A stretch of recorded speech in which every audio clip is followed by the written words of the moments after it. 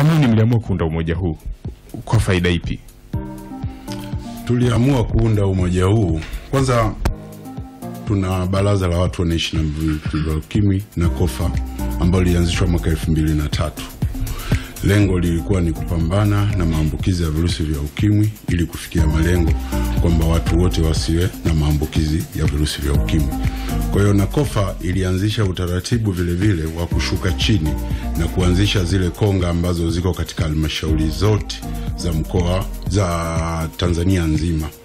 Kwa hiyo malengo makubwa yalikuwa kuwaangalia watu wanaishi na virusi vya ukimwi ili waweze kuwa na maisha mazuri kulingana na hali zao za maambukizi ya virusi vya ukimwi. Lakini kwa kipindi hicho mapambano yalikuwa ni makubwa, kwa sababu kulikuwa hakuna dawa za kufubaza virusi vya ukimwi.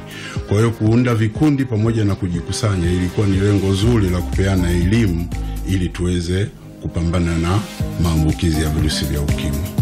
ambapo sasa ninyi mnapambana kwa njia ipi Sisi tunapambana kwanza kutoa ushuhuda kama hivi nilivyo leo hii, niko katika Radio Joy, nimejitolea kueleza hali yangu ambayo itawafanya na wale ambao hawana maambukizi ya virusi vya ukimwi, ili waone kumbe maisha bado yanaweza kuendelea kuwepo. Kwa hiyo hata akifanya zoezi la kupima anajua kabisa ataendelea kuishi kuliko kipindi cha nyuma ambako kulikuwa kuna unyanyapaa mkubwa, watu wengi waliweza kujificha. Eh, sawa lakini ni, ni, ni, bado nisalie kwako tu hapo hapo kwamba umeamua kuweka wazi hali ya afya yako eh, ni labda nataka kupata tu ile yani ule uhalisia wa namna mnavyofanya. Kwa sababu inawezekana akawepo mwingine akaona okay kumbe nikipata ukimwi nikipata virusi vya ukimwi sio inshu naweza nikaishi.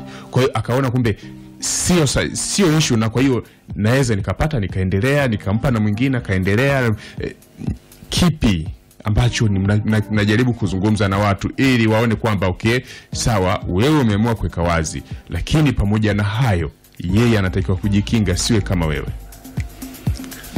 lakini vile vile sisi kuunda umoja wetu na kuwa pamoja kama nilivyozungumza hapo awali ni kuangalia ni jinsi gani tulikokuwa tumetoka, kwa sababu kipindi cha nyuma haya maambukizi yaliathiri yaliathiri sana jamii pamoja na familia mbalimbali mbali. Kwa hiyo ule muunganiko wetu ni sisi kutoa ushuhuda, lakini vilevile vile kwa yale makundi yetu pale tunapokutana, tunahamasishana ufuasi sahihi wa dawa, ushauri wa kisaikolojia, ili tupate ushauri kutoka kwa wahudumu wa afya, lakini vile vile kuwa na uhusiano mzuri wa kijamii kule tunakoishi. mm-hmm. uhusiano huu ukiwa umelenga nini hasa Uhusiano huu ukiwa umelenga kwamba kipindi cha nyuma kulikuwa kuna majina mengi ambayo yalikuwa tumepewa sisi ambao walikuwa tunaitwa waathirika wa miwaya. Kipindi hicho ulikuwa ni unyanyapaa. Kwa hiyo uhusiano ni kwamba wanajamii waone kwamba sisi ni ndugu zao, tunashirikiana kwa pamoja ili kuweza kufanya ni katika kupambana na haya maambukizi ya virusi vya ukimwi.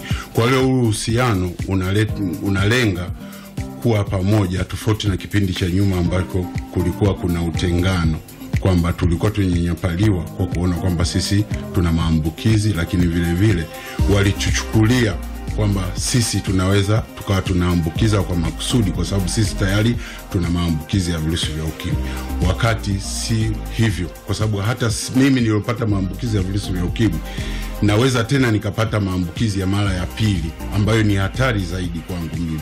Kwa hiyo katika swala hilo ndio maana tukawa tuna uhusiano m- karibu sana na jamii. kwa mara ya kwanza lakini mara pili tena akapata maambukizi tena hili likoje ufafanuzi katika hiyo Ufafanuzi ni kwamba mtu ambaye ana maambukizi ya virusi vya ukimwi sio kwamba hawezi kupata maambukizi mengine mapya, na tunakuwa na aina kama mbili hivi za maambukizi ya virusi vya ukimwi. Kuna aina ya kwanza na aina ya pili.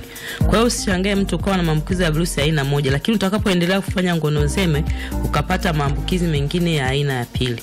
Sasa wakati huo virusi vile ambavyo viko mwilini tayari umeshaanza kutumia dawa ya kuvifa kuvifubaza.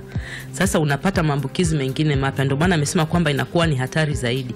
Kwa hiyo kinga za mwili zinashuka zaidi na ndio unaanza kupata magonjwa nyemelezi na yale magonjwa nyemelezi ndio hayo yanapelekea mpaka kwenye nini?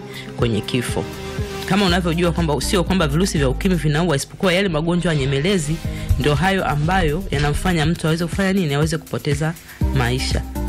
Nije kwako bishida sulemani. E, wewe ni mmoja wa watu wanaoishi na maambukizi ya virusi vya ukimwi. E, ukiwa mpaka sasa hivi kwanza tuanze kuangalia ikiwa ni muda gani mpaka sasa? Ah, mimi kwa mara ya kwanza nimepima mwaka elfu mbili. Ndio. Na sababu iliyochukulia mimi kupima, nilikuwa naondokewa na watoto sana, na sababu nyingine niliondokewa na mme wangu. Kwa hiyo katika kuendelea na msiba, nikaona nipime kwanza kabla sijajua chanzo cha kifo cha mme wangu ni kipi. Nilivyopima nikaambiwa na maambukizi, na wakati huo dawa hazikuwepo. Unaambiwa kwamba nenda kale vizuri, ufanye mazoezi, usubiri siku yako. Kwa hiyo siku kama ya leo mimi naiona kwamba ni siku ambayo nawakumbuka wapendwa wangu, sio kwamba ni kumbukizi ya kusema ya furaha, ni ya machozi, yaani inanirudisha nyuma. Mfano, mi nimepoteza mme wangu, nimepoteza watoto wanne katika watoto sita, nikabaki na wawili. Ndani ya wawili mzima ni mmoja, hata yule aliyefata wale waliofariki ana maambukizi. Vile vile hapa tulipo, nadhani unatuona, Asmani huyo hapo, mimi huyo hapa baada ya kupima na kutambua hali zetu, Asmani alipoteza mke na watoto watatu. Tulivyokaa kwenye huduma na tiba, tukaona hapana, haitoshi. Mungu tusaidie tuweze kusogeza haya maisha katika mapenzi. Nikampata mpenzi ambaye ni Asmani Rajabu. Nimempata mwaka elfu mbili na nane mpaka leo, nadhani mnatuona. Lakini kweli tunaishi na virusi vya ukimwi, nyumba yetu ina amani, tunakumbushana muda wa kutumia dawa tunazidi kuielimisha jamii, lakini katika mahusiano yetu lazima tutumie kinga, kwa sababu kila mtu ana maambukizi yake. Hatujui kila mtu ana kirusi cha aina gani. Hivyo basi, siku hii kama hii au tunavyoyaishi maisha yetu ni maisha ambayo tunatamani hata wengine walioambukizwa waweze kuingia kwenye huduma na tiba. Wataingiaje sasa? Ni pale watakapopima afya, wakijitambua watapata huduma na watakuwa na afya nzuri lakini vile vile nimesikia mratibu anasema kwamba maambukizi sasa hivi tuna asilimia tatu. Ni kweli, ni kweli, kwa sababu kwenye vituo vyetu vya huduma na tiba kuna vijana wengi sana ambao chanzo chake ni sisi, kwa sababu tumewahudumia, tumewaona sasa hivi wako kwenye kundi barehe. Vijana hao hawajakusanywa wakawekwa pamoja, kila mtu anapatia dawa sehemu yake na anarudi kwake. Vijana hao mioyoni mwao hatujui, lakini wana visasi. Kwa nini mimi? Wametumia dawa, wamependeza, mitaani wanayokwenda kuyafanya hatuyajui. Kwa mfano kama siku ya leo ni siku kweli ambayo ni ya kilele cha watu wanaoishi na virusi vya ukimwi au kumbukizi. Hali zetu tunazijua ni ngumu, manispaa yetu haina fedha, lakini hakuna mdahalo wowote ambao umefanyika wa kuweza kuwakusanya hata wale vijana wakaweza kupata elimu endelevu, wakajua kwamba leo ni siku gani. Kwa hiyo vijana wetu kiufupi wamesahaulika. Nitasema Chaki Chaki naye bado ni mhitaji, hana fungu la kuweza kusema atawakusanya wale vijana wote, atawawezesha. Nitasema labda mratibu wa ukimwi mwingine ambaye ni wapili wale vijana hana uwezo wa kuweza kusema atawakusanya wote, awapa elimu ya kuhusu maambukizi ya virusi vya ukimwi. Hivyo mimi siamini kama virusi vya ukimwi vitakuja vipungue, wakati vijana wetu mitaani wako wengi sana. Chaki ni shahidi, anawafahamu, lakini uwezo wa kusema atawasaidia wote wakusanye pamoja hana.